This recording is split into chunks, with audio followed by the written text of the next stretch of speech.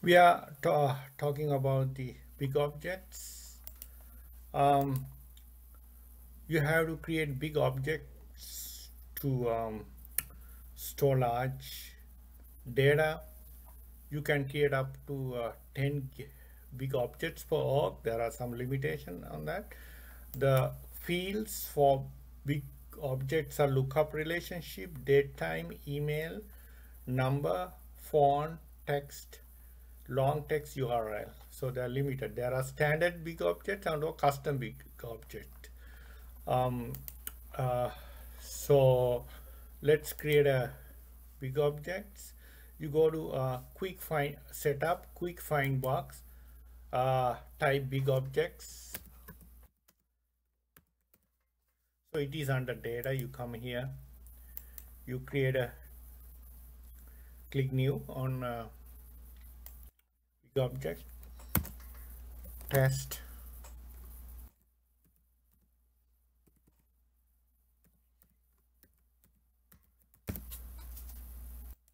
So plural is big objects. This is the object names we it defaults to the uh, label I don't want to change the API name. You can add the description test. Um, you have context sensitive help settings. Open the standard salesforce.com help and training window. So I um, the second one is open the uh, window using a Visualforce page. So no I, we, I go for standard salesforce.com and training window it is in development right.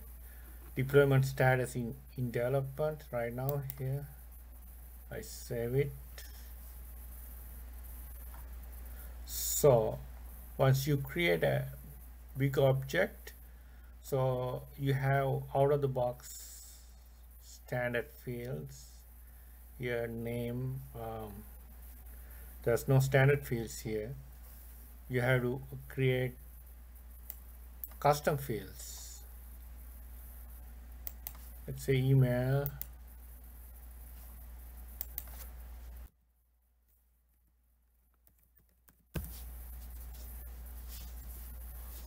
Email. So I don't want to make it required so I'm creating a custom field called emails. Let's get the defaults of field level security Add save and new we add a new um, an another new custom fields. You can see there are few options and the um, other custom uh, object fields. Uh, lookup datetime email number phone text long text url so text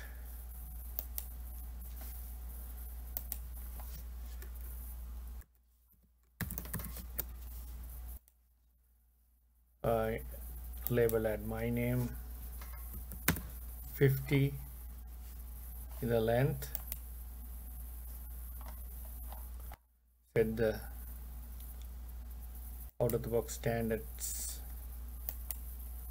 security and then save it. So I created two custom fields for this big object. So we have a big object created.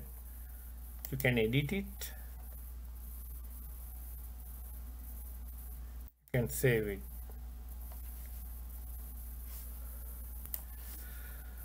When you come back to the custom uh, the uh, uh, test uh, big object you can see a warning message to complete the big object setup define a custom index. Before you can define a custom index create at least one required custom field um, so I go to uh, the my name I make it as required as save here.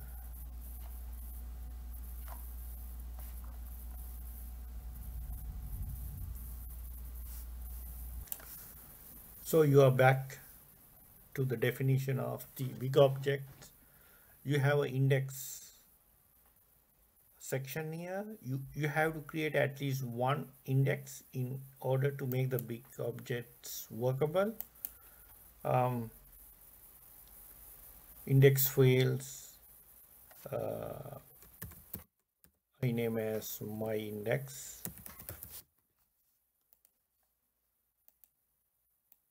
Index position I use the my name as the index field.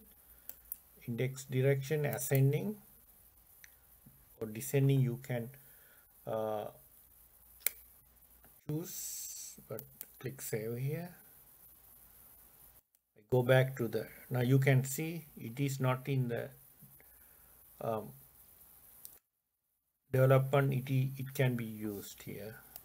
So you can deploy the big objects. Now click edit here. You have two options. Earlier you saw in development for deployment status you click deployed and saved it. So it's ready to be used. It is the deployment status is deployed for this big object. You can use it